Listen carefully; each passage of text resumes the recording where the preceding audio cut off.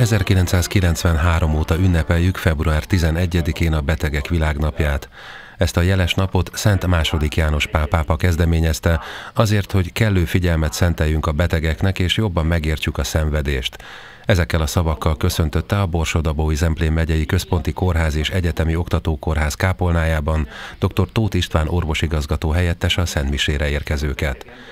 Az intézeti lelkészség életében minden esztendőben kiemelkedő esemény a Betegek Világnapja. A történelmi egyházak képviselői imákkal, evangéliumi részletekkel emlékeztek meg azokról, akikről ez a világnap szól. Idén Ternyák Csaba egriérsek celebrálta a Szent Misét. Homíliájában arról beszélt, hogy a betegek világnapja az együttérzésről, a megértésről és a támogatásról szól.